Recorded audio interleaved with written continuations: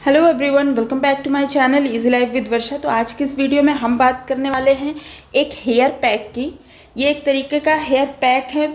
इसके लग, इसको लगाने से आपके बालों में रूखापन, बालों में अगर डेंड्रफ है तो वो ख़त्म हो जाएगा। बालों की लंबाई अच्छे से बढ़ेगी, बालों की ग्रोथ बहुत अच्छे से होगी, बालों का टूटना और झड़ना दोनों भी बंद हो जाएगा।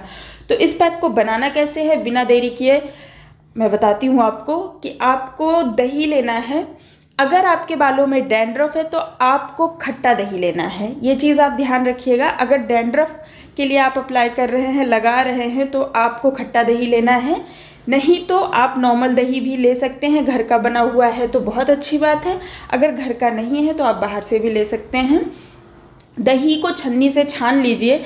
छन्नी से छानने के लिए मैं इसलिए बोल रही हूँ क्योंकि उसका सारा पानी निकल जाएगा और जो गाढ़ा गाढ़ा दही बचेगा वो आप लगाएँगे। तो इधर उधर जो पानी टपकते रहता है दही लगाने के बाद, वो अच्छा नहीं लगता है तो वैसा नहीं होगा। बिल्कुल एकदम पैक की तरह आपके बालों पे सेट हो जाएगा। तो दूसरा इंग्रेडिएंट मैंने इसमें यूज़ किया है कंडीशनर अगर आप कंडीशनर स्किप करना चाहते हैं तो आप कंडीशनर की जगह पे विटामिन ई का कैप्सूल या थोड़ा सा ग्लिसरीन डाल सकते हैं इसमें। तीसरा चीज़ है, इसमें मैंने डाला है नारियल का तेल। नारियल का तेल या जो भी तेल आप अप्लाई करते हैं, वो डाल सकते हैं, जो भी तेल आपको पसंद हो। और कंडीशनर मैं इसलिए भी बोल रही हूँ कंडीशनर कुछ लोगों को लगता है कि कंडीशनर स्कल्प पे अप्लाई नहीं करते हैं, नहीं लगाते हैं, बाल और ज़्यादा गिरते हैं। तो मैं आपको बता दूँ कि यहाँ पे हमने कंडीशनर को डाइल्यूट कर दिया है दही और नारियल तेल के साथ तो वो उतना नुकसान नहीं करेगा। तो आप कंडीशनर डाल सकते हैं बिना टेंशन के। मतलब परेशान होने की ज़रूरत नहीं है, नुकसान नहीं करेगा। तो ये पैक हमारा मिक्स हो गया है रेडी हो गया है। अब आपको क्या करना है, अपने बालों को अच्छे से सुलझा लेना है।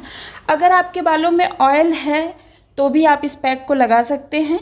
कोई प्रॉब्लम नहीं है। ऐसा नहीं है कि आपको बालों को धो के ही लगाना है। ऑयल के साथ भी आप अपने बालों में लगा सकते हैं। तो आपको इसको अपने पूरे बालों में लगा लेना है। आप हाथ से, चम्मच से या ब्रश से जैसा भी, हाथों से काफ़ी अच्छे से लग जाएगा, क्योंकि इस पैक को लगाने के बाद हमें थोड़ी देर तक अपने बालों पे मसाज भी करनी होगी। तो इस पैक के फ़ायदे ये हैं कि आपके बालों पे जो है बहुत अच्छी चमक आएगी, बाल जो आपके रूखे सूखे होंगे, वो काफ़ी शाइनी हो जाएँगे।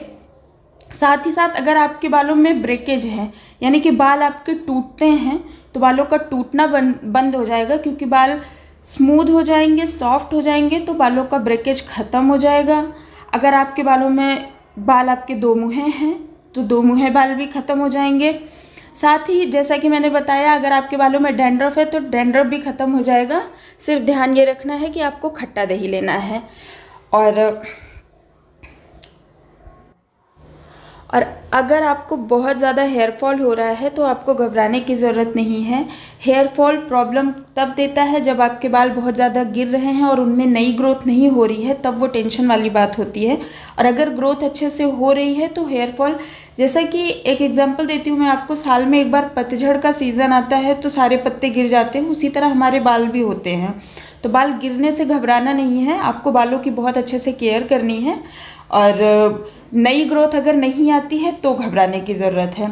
तो अगर आपको हेयर फॉल अभी हो रहा है तो हेयर फॉल इससे रुक जाएगा और नई ग्रोथ भी बहुत अच्छे से आएगी। तो इसको पूरा आपको इसी तरीके से स्ट्रेट वे में लगाना है। अगर आप चाहते हैं कि आपके बाल सीधे हों, क्योंकि इससे बाल सीधे भी होते हैं तो आपको इस तरीके से लगाना है और बालों को एज इट इज़ छोड़ देना है। ऐसे ही बिल्कुल स्ट्रेट वे में। और अगर आप नहीं चाहते तो आप इसको लगा के बन भी बना सकते हैं। कोई दिक्कत नहीं होगी। जैसा कि मैंने बताया था कि छन्नी से हमने इसे छान लिया है तो इसमें पानी वगैरह नहीं गिरेगा और ये बालों को बहुत ज़्यादा बाउंसी स्मूद और सिल्की दिखाता है। साथ ही साथ इसको लगाने के बाद जब आप हेयर वॉश करेंगे ना तो आपके बाल अगर पतले भी होंगे तो काफ़ी बाउंसी दिखेंगे। ऐसा लगेगा कि बहुत घने हैं आपके बाल। और इस पैक को आपको हफ़्ते में दो बार या हफ़्ते में एक बार ज़रूर लगाना है। कम से कम दो से तीन हफ़्ते लगाइए अगर आप अच्छा रिज़ल्ट चाहते हैं तो। ये नहीं कि एक बार लगा लिया और उसके बाद बंद कर दिया। कम से कम दो तीन बार यूज़ कीजिए। बहुत अच्छा रिज़ल्ट मिलेगा इससे आपको। और इसको मैन वुमेन जेंट्स लेडीज़ कोई भी अप्लाई कर सकते हैं। इसमें कुछ ऐसे नुकसान वाली बात नहीं है। तो इसको लगाने के बाद आपको क्या करना है? पाँच मिनट तक हल्के से मसाज करनी है उंगलियों से। मसाज करने के बाद आप बन बना लीजिए या आप ऐसे ही छोड़ दीजिए और आधे से एक घंटे के बाद आप बालों को धो लीजिए। और अगर आपने बालों में तेल वगैरह लगाया है तो भी इसको आप लगा सकते हैं, ऐसी कोई प्रॉब्लम नहीं है। और उसके बाद आप अपने बालों को धो लीजिए।